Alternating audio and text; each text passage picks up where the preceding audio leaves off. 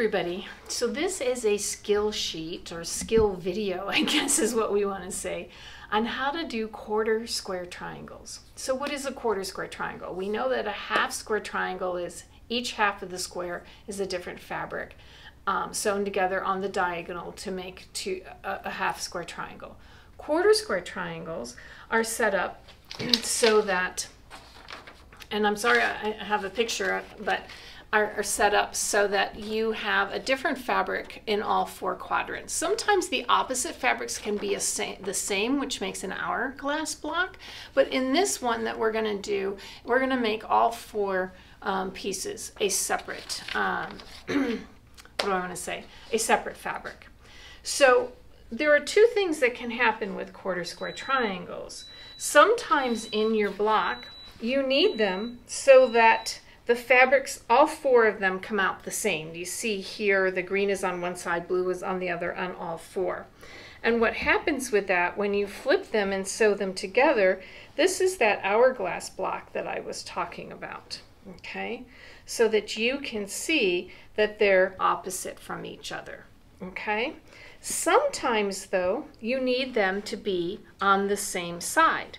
So when or on uh, um, the same side so that when you're trying to get a fabric in a specific place and if you made another set of these you would have a different fabric in all four which is what we're going to look at doing today. All right so to sew these they get sewn a little bit different way the formula for doing quarter square triangles is you take your finished size which in um, the block of the month that we're doing right now our finished size would be three and you add an inch and a quarter, which is a nice easy formula. So we would start with blocks that were four and a quarter inches, which you'll see is what we have you cutting. Now, there are two different ways you can sew these to get the result you need. So the first way to get um, four ident I'm sorry, mirror images, the easy one, is that you always want to start by drawing a line on both diagonals. Okay, so basically you're drawing the four quadrants by doing that. So draw a line point to point, a line point to point. To get mirror images, you're going to sew a quarter inch down each side of the line, which, um, and then you're going to cut it on both lines, which sounds kind of weird, but when you do that, you're going to get a result that looks like this, where you're going to have two with the blue on the left and two with the blue on the right. Okay, and how do you know which method to use? Well, it's kind of funny because I kind of go through my picture when I do it, and it's like I cover up one side of it, and I say, okay, this has light one and print one on it, and then I go over here and see if I, and get that same combination, and see if they, the print or the light always end up on the same side. If they always end up on the same side, then you need them identical. If they're opposite each other, like in an hourglass, then you need to make the mirror image. I hope that makes sense when we tell you to make them, we will tell you which method to use, okay? So we need four that are identical this month because we're going to be sewing two different sets of fabrics together. So the way you do that, though, to get four of them that are identical is a little bit different how it works. You still put the two pieces right sides together you draw a line on opposite diagonals. Okay, so again, you quadrant it out. But instead of sewing from top all the way to bottom, you're going to go to just above center line and sew from the center uh, down a quarter inch from the line. Then you are going to rotate your block and start again a quarter inch above the line and sew down um, to the bottom. And again, you're a quarter inch away from that line. You turn it again and you're going to sew from center down and you turn it one more time from center down. So you've sewn four seams, but they always are start about a quarter inch above the center line. So it looks kind of funny if you look at it um, because you've got a line there on each side. Now when you cut this apart on both diagonals and you open those up, you're going to find that your fabrics are consistent. So all four of them will be the same.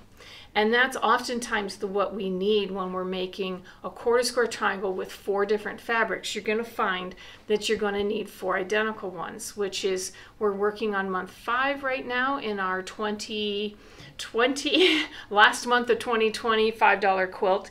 And this is the method you're going to use to make four identical ones. Now, what happens though, oftentimes when you're making these, like this one, you need a certain fabric that is on a certain side. And so, how do we force that to happen? You can actually do that. You can make a certain fabric land on a certain side.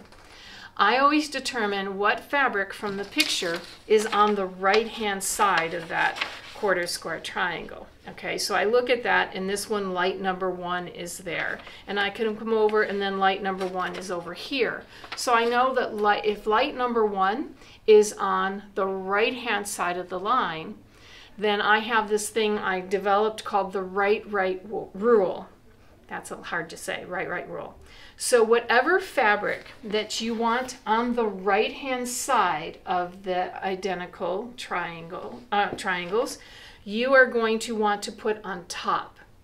And then if you sew on the right hand side of the line, with that fabric on top all the way around, when you cut it apart, you, that fabric, the top fabric, will be on the right hand side of the block. So right, right rule. Sew on the right, whatever fabric's on top will be on the right. And once you figure that out, you can make these quarter square triangles for any quilt block that you're working on. And as long as you can identify which one's on the right, you can control where that's going to go and you can use this quick method to make these. Because cutting all these triangles and trying to sew them together is not a lot of fun. And then again, we're dealing with a whole bunch of bias edges that you don't need to deal with um, because you can sew it in a square. So again, right, right rule, whatever fabric needs to be on the right, you are going to sew on the right hand side of the line. And when you cut it apart, it will be on the right hand side. Now, what happens if you goof? Because uh, people always go, oh, great, I will never remember that. If when you open it, you have the wrong one on the right hand side, all you have to do, it's very easy to recover for, from, is close it back up, sew down the opposite short side unsew the side you sewn and when you open it up you will be recovered. You'll have it where you need it. So it's not the end of the world if you sew it wrong but it's kind of nice to get it the correct way the first time so remember you're going to add an inch and a quarter to your finished size you're going to draw a line on both diagonals and for the right right rule whatever one you want on the right hand side put that fabric on top and then sew on the right hand side of the line and you will have four identical quarter square triangles with your desired color on the right hand side over here. And that's how we make quarter square triangles.